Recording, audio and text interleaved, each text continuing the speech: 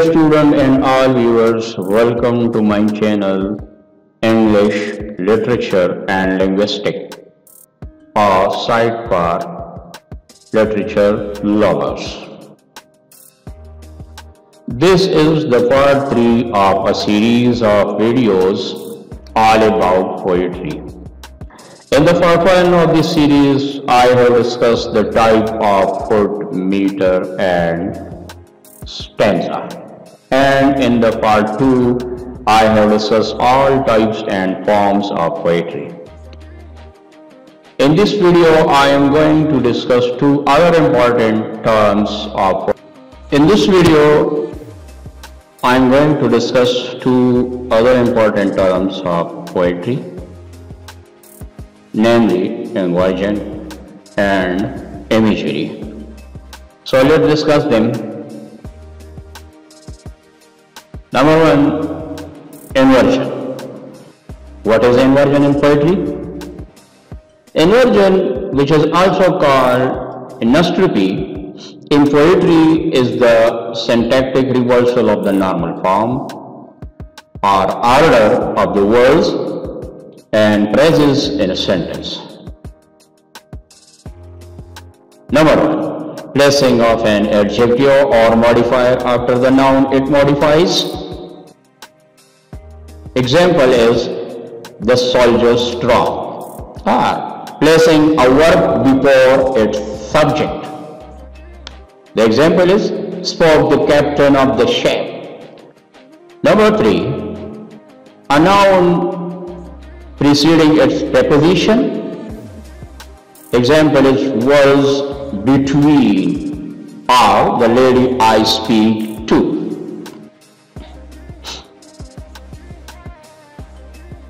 Some example of inversion from poetry are some example of inversion from poetry are number one these first two lines from Kubla Khan by Coleridge. In Xanadu did Kubla Khan a stately pleasure doom decree. Number two,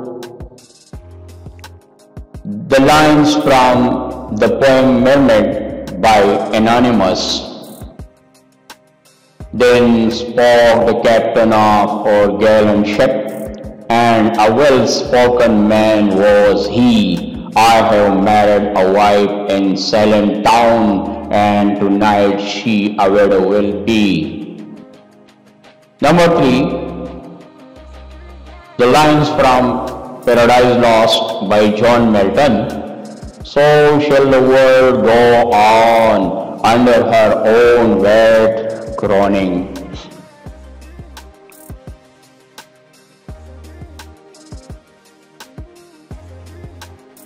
own wet groaning. Next we are going to discuss imagery in poetry. What is imagery? According to Robert Frost, saying one thing and meaning another. That is imagery. The general definition of imagery is the use of words, phrases, figurative language in poetry that appeal to the reader's senses such as sight, smell, touch, taste and hearing. In general, imagery is the use of figurative language to represent objects, actions, feelings, thoughts, ideas, state of mind, whether sensory or extrasensory experiences.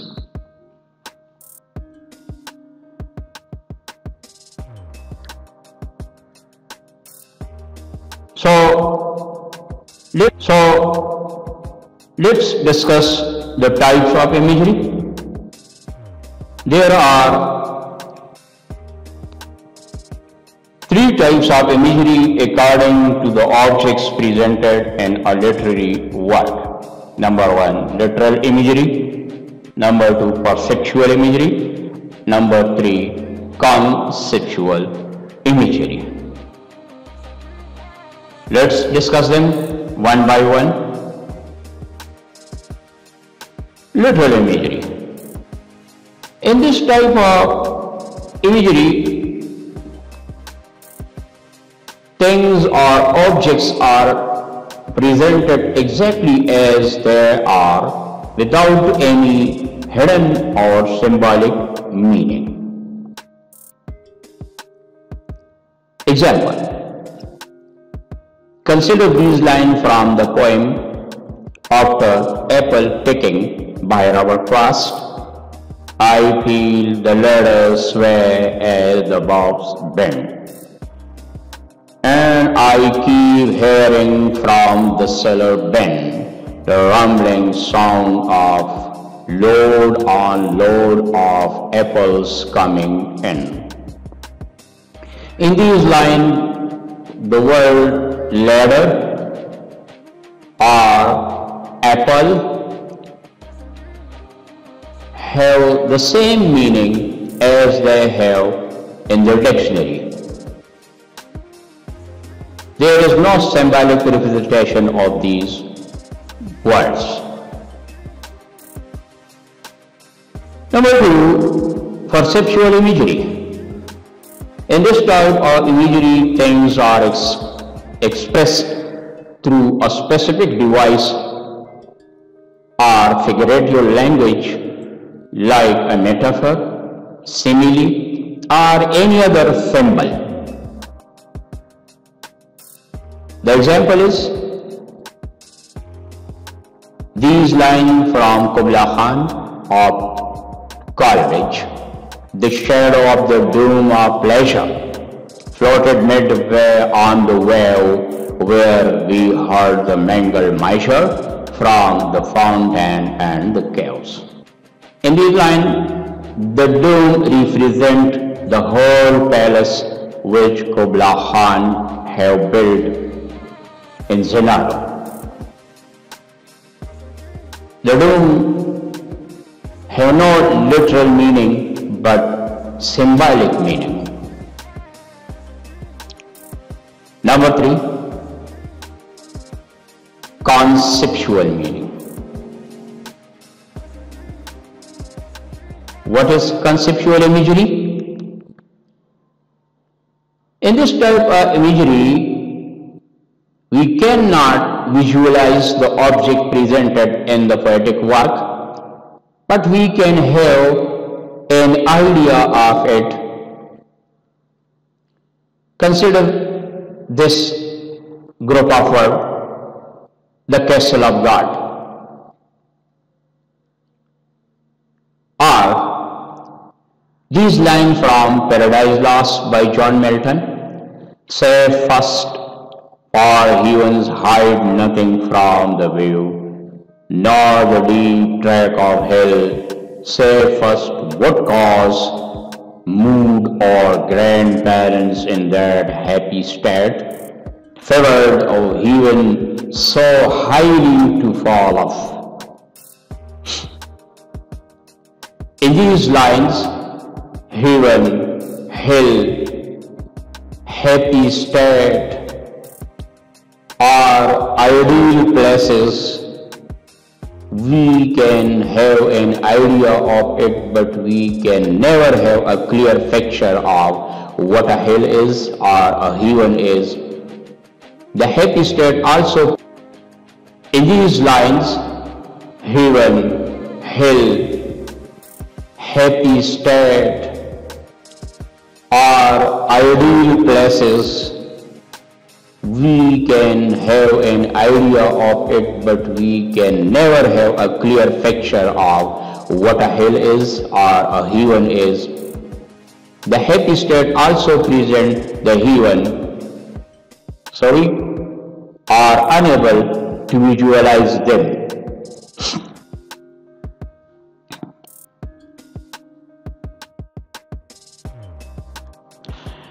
Dear student, now we are going to discuss other types of imagery. According to the human senses, there are eight types of imagery like visual imagery, auditory imagery, olfactory imagery, gustatory imagery, tactile imagery, kinesthetic imagery, organic imagery, syn synesthesia or synesthetic imagery. So let's discuss them one by one. Visual imagery. What is visual imagery? This type of imagery appeals to the senses of sight. Consider these lines from Daffodils by William Wordsworth. I wander lonely as a cloud that floats on high over vales and hills, when all at once I saw a crowd, a host of golden daffodils, beside the lake beneath the trees, fluttering and dancing in the breeze. In these lines, cloud, vales, hills, golden daffodils, lake, trees present a type of visual imagery. Next is auditory imagery or the sense of hearing. This type of imagery describes specific sound and this imagery appeals to the sense of hearing.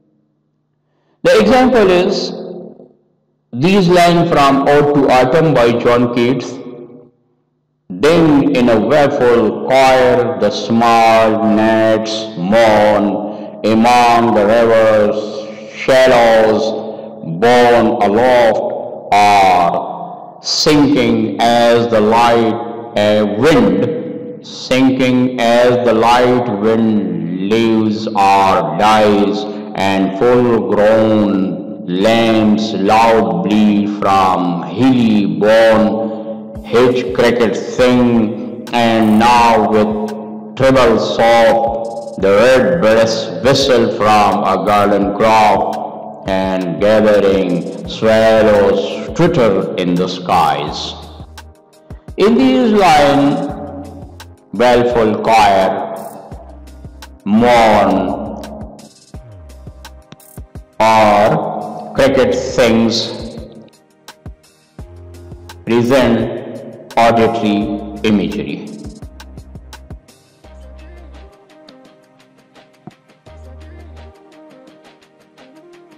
and gathering swallows twitter in the skies. In these lines, baleful choir mourn or cricket sings present auditory imagery.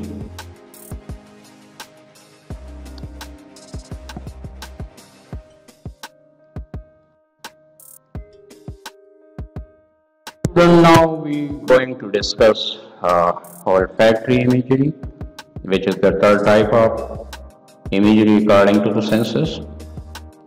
What is olfactory imagery? It describes a particular scent, odor or smell. A good example is these lines from a poem Rain in Summer by Henry Wadsworth Longfellow. They silently inhale the clover-scented gale and the vapors that arise from the well, water and smoking soil. The clover scented gale present an olfactory imagery in this line. Gale present an olfactory imagery in this.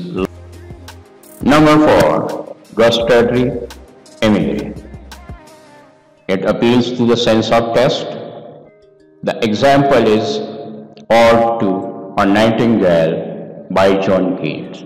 Consider these few lines. Oh, for a draught of vintage there had been cooled a long age in the deep well earth. testing of flora and the country green, dance and Provençal song and sunburned mirth. Oh, for a beaker full of the swarm south, full of the dew, the blushful hippocrene with beaded bubbles winking at the brim and purple stand mouth. This is a good example of gustatory imagery. The fifth type is tactile imagery. This imagery appeals to the sense of touch. Number five, tactile imagery or the sense of touch. This type of imagery appeals to the sense of touch. Consider these lines from the poem Winter Time by Robert Louis Stevenson. Close by the jolly fire I sit, to warm my frozen bones a bit, or with a reindeer sled explore the colder countries round the door. Warm, frozen bonds, colder, these words present the tactile imagery in these lines. Number six is kinesthetic imagery this imagery deals with the movement or action of objects or people. Consider these lines from Daffodils by William Worth continues as the star that shine and twinkle on the Milky Way, they stretched in never-ending line along the margin of a bay, ten thousand saw I at a glance, tossing their heads in sprightly dance. In these lines, shine, twinkle, tossing, sprightly dawns are good example of kinesthetic imagery. shine, twinkle, tossing, sprightly dawns are good example of kinesthetic imagery.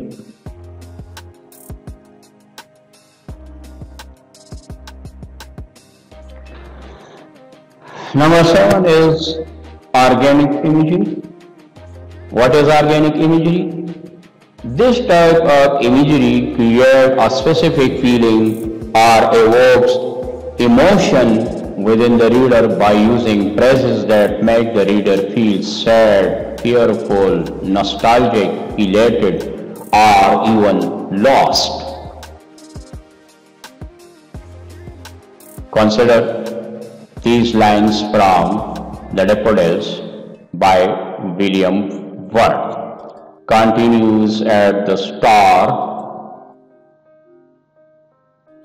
that shine and twinkle on the Milky Way. They stretch in ever-ending line along the margin of a bay. Ten thousand saw I at a glance, tossing their head in sprightly dance.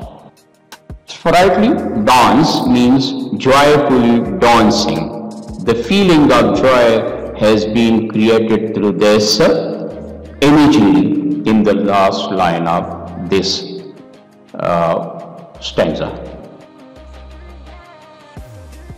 Next is the syn synesthesia or synesthetic imagery. What is synesthesia or synesthetic imagery? It is the type of imagery which is used in literature when one says is used to describe another, generally using simile or metaphor. Consider these line from Hyperion of John Keats. Hyperion living twilight in the rear came slow upon the threshold of the west. Then as was worn his palace door flew up in smoothest silence, say what solemn tubes blown by the serious zephyrs gave of sweet and wandering sound, slow breathed melodies, and like a rose in vermeil tint and shape, in fragrance soft and coolness to the eye, that inlet to severe magnificence stood full blown for the god to enter in. In these lines, smoothest silence, smoothest or smooth is the tactile imagery, while silence is the auditory imagery. But the tactile imagery has been used as an adjective for the auditory imagery. Smooth as silence. One sense have been used as modifier for the other sense. Fragrance soft. Fragrance is the type of olfactory imagery whereas soft is the tactile imagery. So the two senses have been combined to present synesthetic imagery. There are numerous examples of such imagery and poetry. Dear student, now I am going to put here some lines from a poem Lazarus and the Sea by Peter Redgrove in which you can find all the above discussed imagery. By reading it, you can analyze and identify the imagery very easily. So it is just as a homework for you if you have any query about this, you can ask in the comment box. I will happily respond to every comment. So dear student, hope you have learned from this video and enjoyed it as well. Thank you for watching. Bye till the next video. Thank you so much. And identify the imagery very easily. So it is just as a homework for you. If you have any query about this, you can ask in the comment box. I will happily respond to every comment So dear student, hope you have learned from this video and enjoyed it as well. Thank you for watching. Bye till the next video. Thank you so much.